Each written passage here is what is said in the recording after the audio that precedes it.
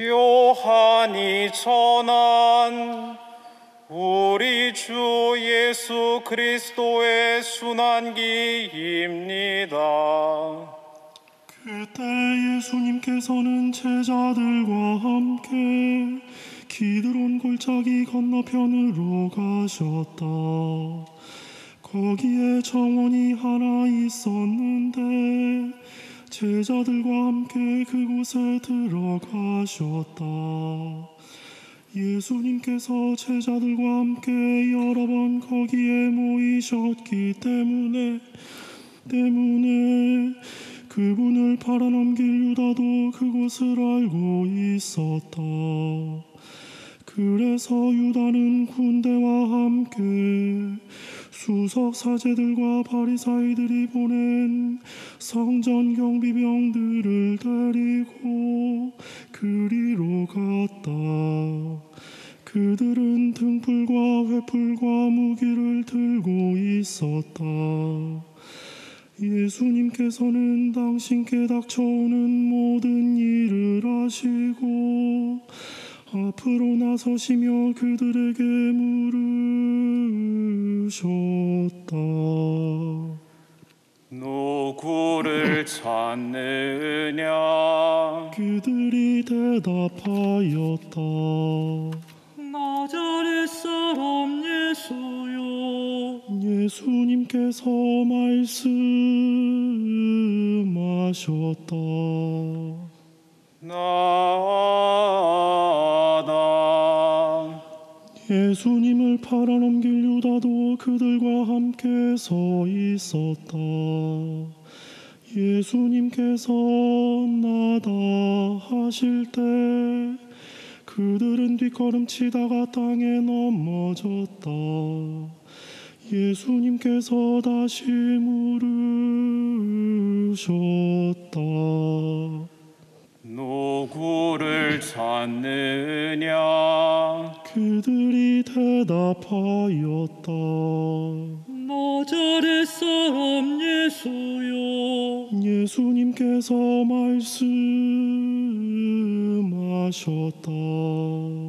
나다 하지 않았느냐?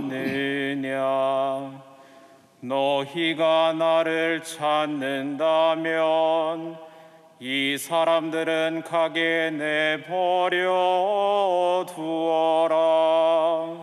이는 아버지께서 저에게 주신 사람들 가운데 하나도 잃지 않았습니다.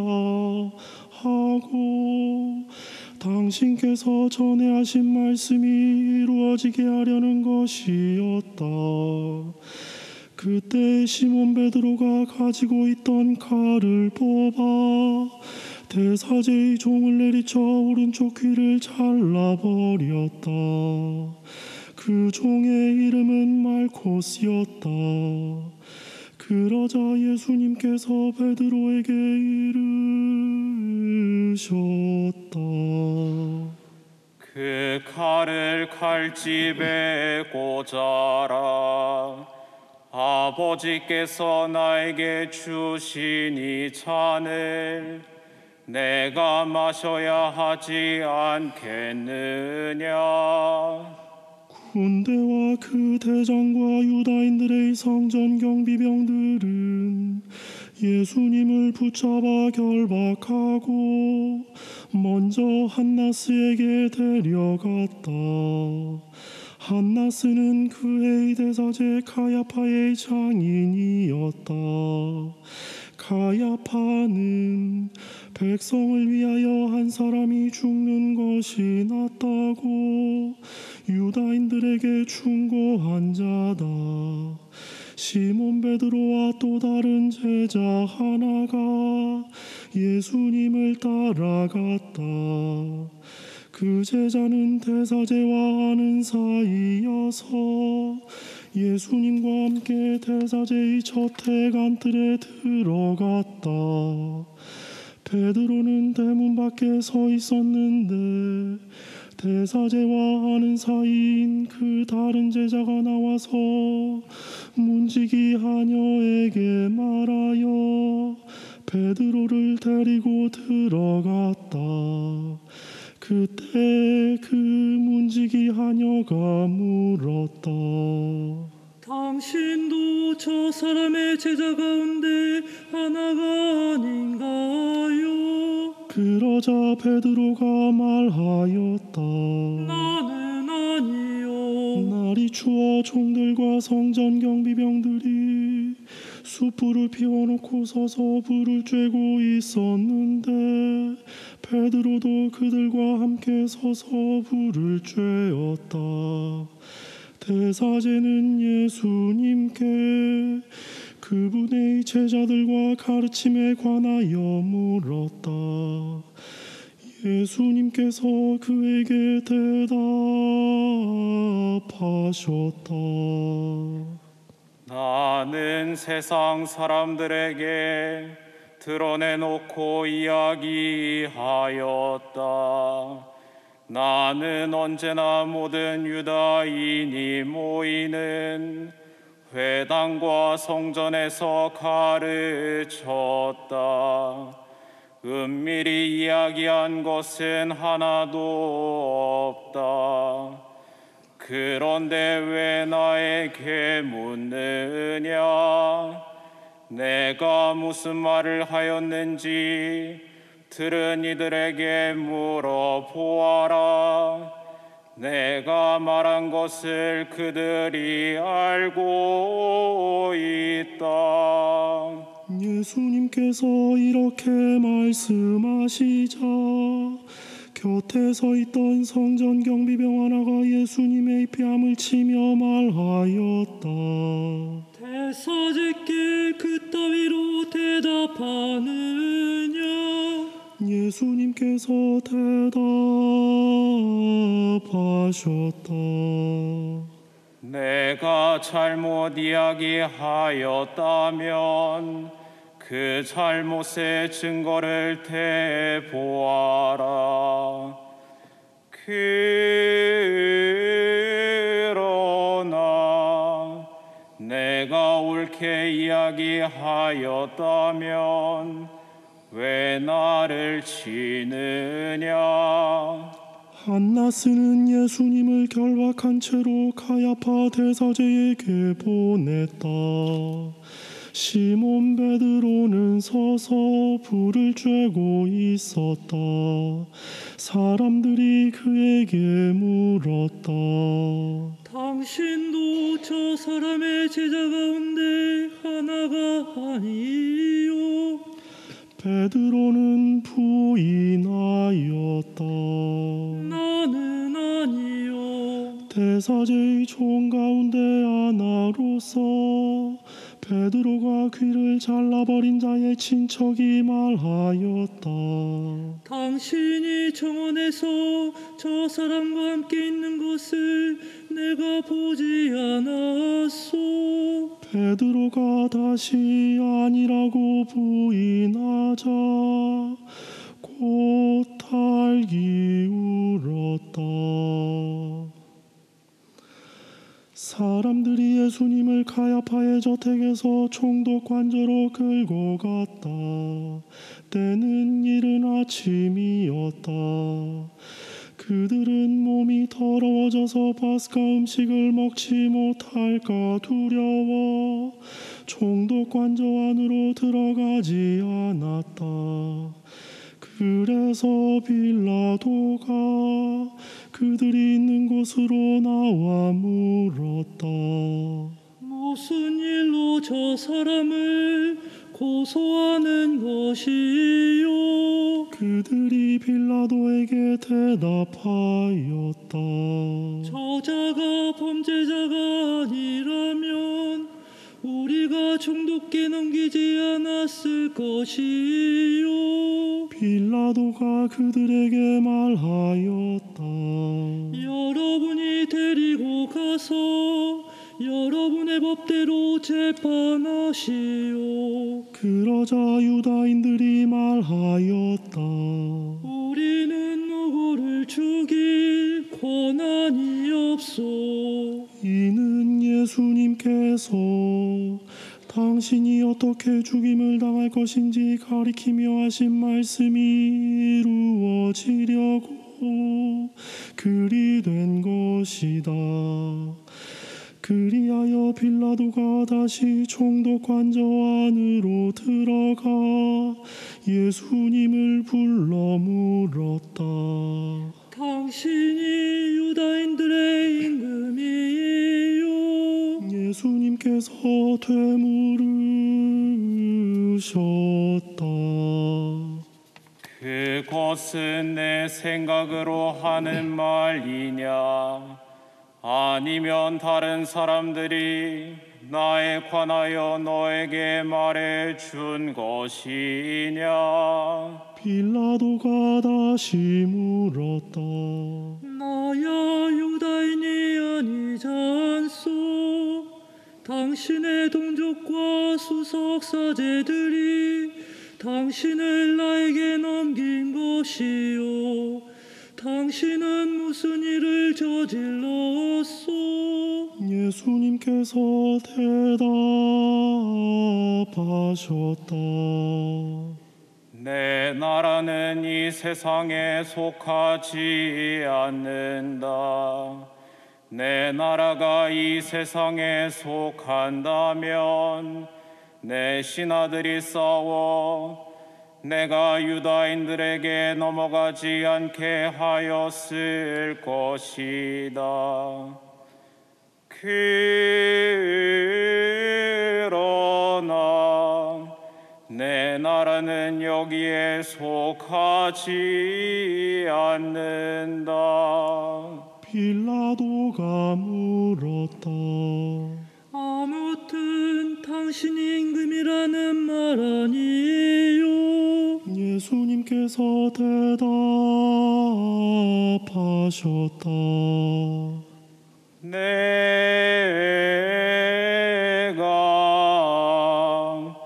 임금이라고 네가 말하고 있다. 나는 진리를 증언하려고 태어났으며 진리를 증언하려고 세상에 왔다. 진리에 속한 사람은 누구나 내 목소리를 듣는다. 빌라도가 예수님께 말하였다. 진리가 무엇이요 빌라도는 이 말을 하고 다시 유다인들이 있는 곳으로 나가 그들에게 말하였다. 나는 저 사람에게서 아무런 제목도 찾지 못하겠소.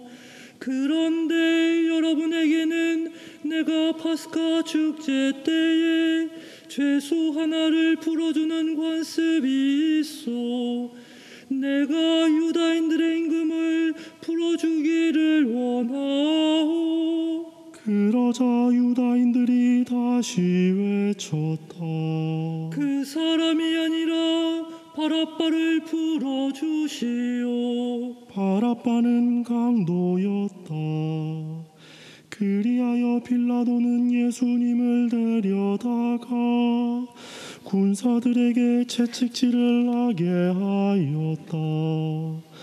군사들은 또 가시나무로 관을 엮어 예수님 머리에 씌우고 자주색 옷을 입히고 나서 그분께 다가가 이렇게 말하며 그분의 입뺨을 쳐댔다. 유다인들의 임금님 만세. 빌라도가 다시 나와 말하였다. 보시오, 내가 저 사람을 여러분 앞으로 데리고 나오겠소. 내가 저 사람에게서 아무런 제목도 찾지 못하였다는 것을 여러분도 알라는 것이요. 이윽고 예수님께서 가시나무관을 쓰시고 자주색 옷을 입으신 채 밖으로 나오셨다. 그러자 빌라도가 그들에게 말하였다. 자, 이 사람이요. 그때 수석 사제들과 성전 경비병들은 예수님을 보고 외쳤다.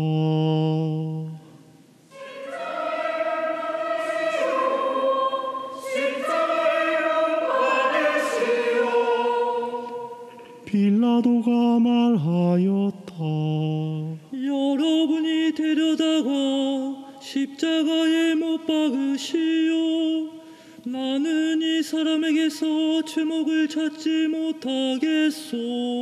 그러자 유다인들이 빌라도에게 대답하였다. 우리에게는 율법이 있어. 이 율법에 따르면 그 자는 죽어 마땅하오. 자기가 하느님의 아들이라고 자처하였기 때문이요. 빌라도는 이 말을 듣고 더욱 두려운 생각이 들었다. 그리하여 다시 총독 관저로 들어가 예수님께 물었다. 당신은 어디서 왔소? 예수님께서는 아무 대답도 하지 않으셨다. 그러자 빌라도가 예수님께 말하였다. 나에게 말을 하지 않을 작정이에요. 나는 당신을 풀어줄 권한도 있고 당신을 십자가에 못 박을 권한도 있다는 것을 모르시오. 예수님께서 대답하셨다. 내가 위로부터 받지 않았으면 나에 대해 아무런 권한도 없었을 것이다. 그러므로 나를 너에게 넘긴 자의 죄가 더 크다. 그때부터 빌라도는 예수님을 풀어줄 방도를 찾았다. 그러나 유다인들은 외쳤다. 그 사람을 풀어주면 총독께서는 황제의 친구가 아니요. 누구든지 자기가 임금이라고 자처하는 자는 황제에게 대항하는 것이요. 빌라도는 이 말을 듣고 예수님을 밖으로 데리고 나가 리토스트로토스라고 하는 곳에 있는 재판석에 앉았다. 리토스트로토스는 히브리 말로 가빠타라고 한다. 그날은 파스카 축제 준비일이었고 때는 낮 12시쯤이었다. 빌라도가 유다인들에게 말하였다. 보시오 여러분의 임금이요 그러자 유다인들이 외쳤다.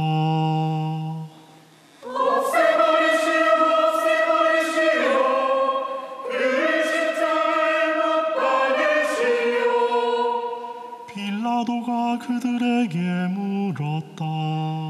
여러분의 임금을 십자가에 못 박으라는 말이요 수 석 사제들이 대답하였다. 우리 임금은 황제뿐이요 그리하여 빌라도는 예수님을 십자가에 못 박으라고 그들에게 넘겨주었다. 그들은 예수님을 넘겨받았다. 예수님께서는 몸소 십자가를 지시고 해골터라는 곳으로 나가셨다.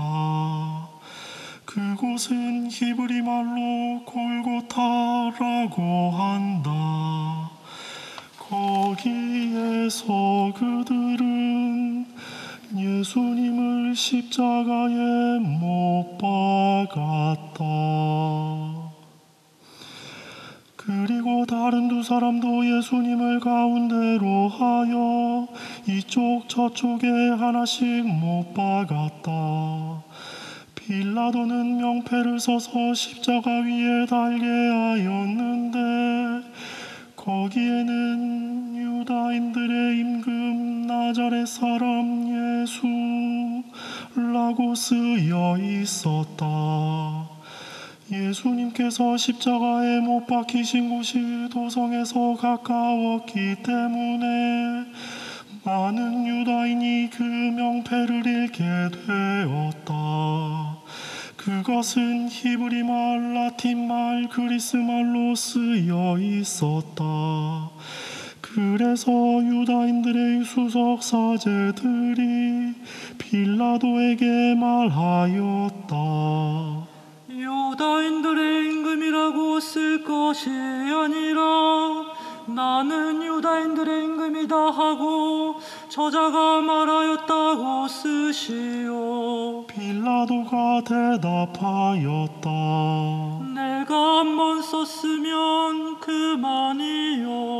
군사들은 예수님을 십자가에 못 박고 나서 그분의 옷을 가져다가 내 몫으로 나누어 저마다 한 몫씩 차지하였다.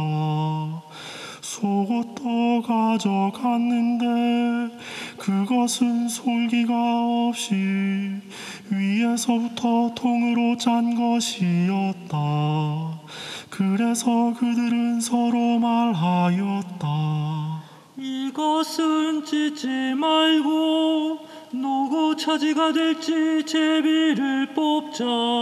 그들이 제 옷을 저희끼리 나누어 가지고 제 속옷을 놓고서는 제비를 뽑았습니다 하신 성경 말씀이 이루어지려고 그리 된 것이다. 그래서 군사들이 그렇게 하였다. 예수님의 십자가 곁에는 그분의 어머니와 이모, 클로파스의 아내 마리아와 마리아 막달레나가 서 있었다. 예수님께서는 당신의 어머니와 그 곁에 선 사랑하시는 제자를 보시고 어머니에게 말씀하셨다.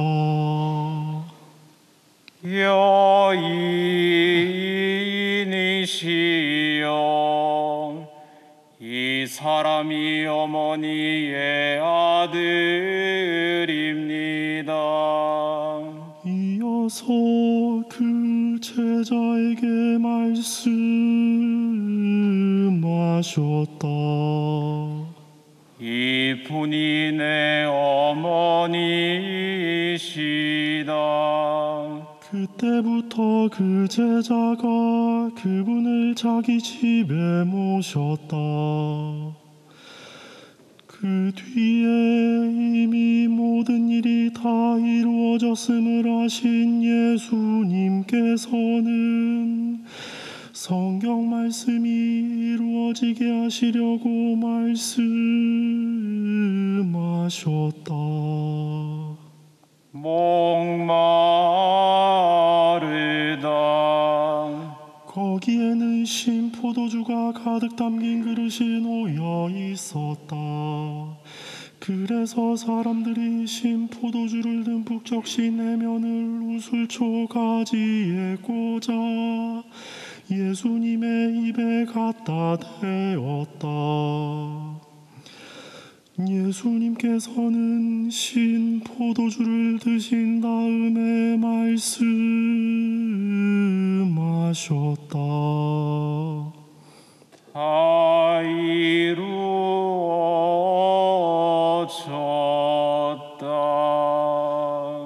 이어서 고개를 숙이시며 숨을 거두셨다.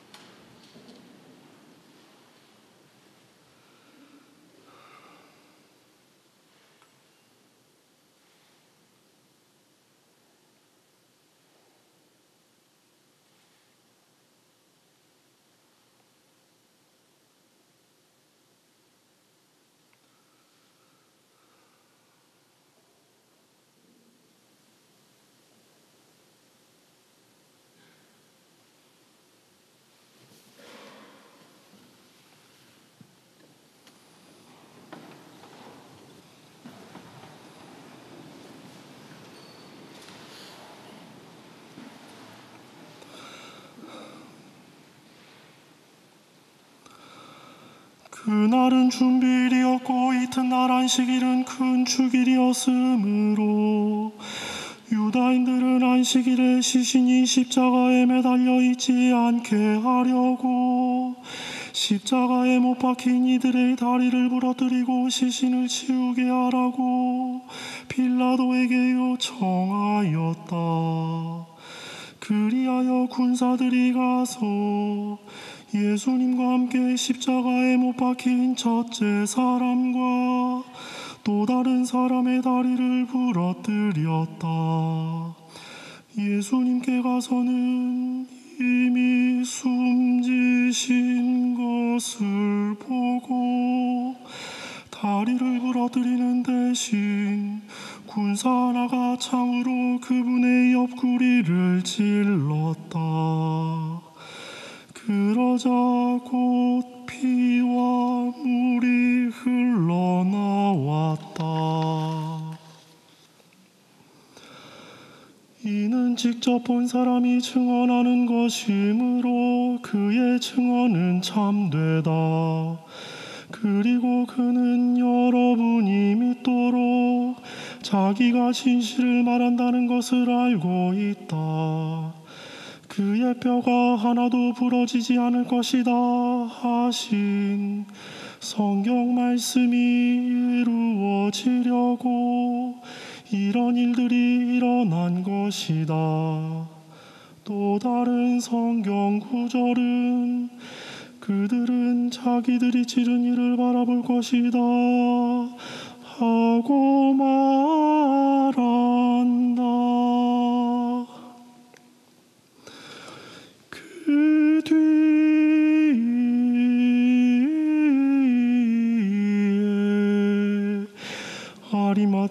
출신 요셉이 예수님의 시신을 거두게 해달라고 빌라도에게 청하였다.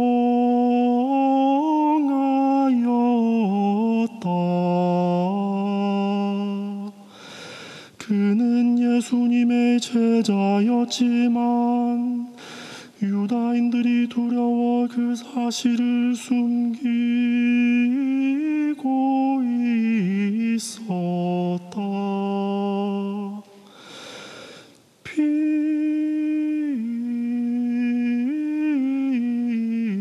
빌라도가 허락하자. 그가 가서 그분의 시신을 거두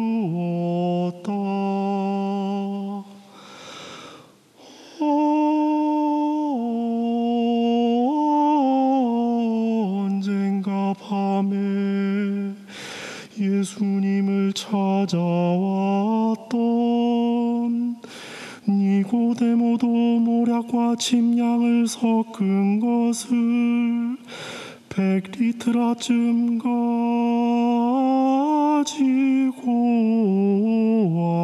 왔다.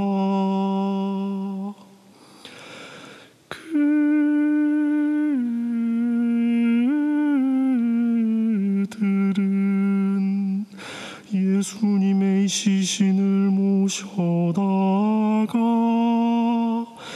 유다인들의 장례 관 습에 따라 향료와 함께 아마포로 감쌌다.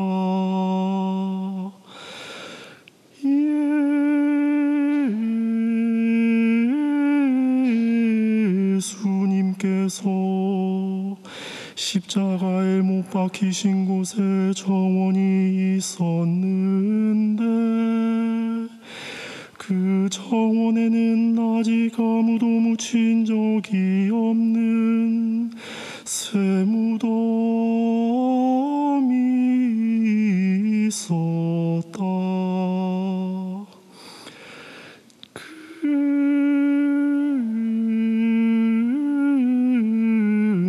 그날은 유다인들의 준